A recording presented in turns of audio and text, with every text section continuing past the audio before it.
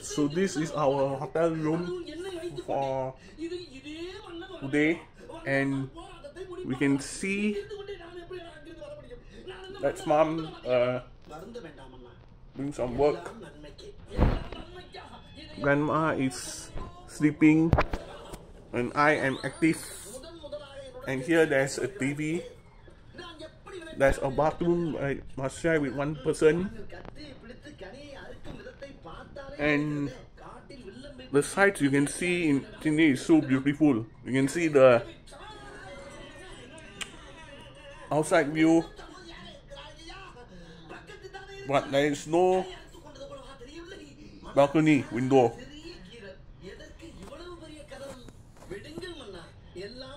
It's my my 26th birthday present of the year.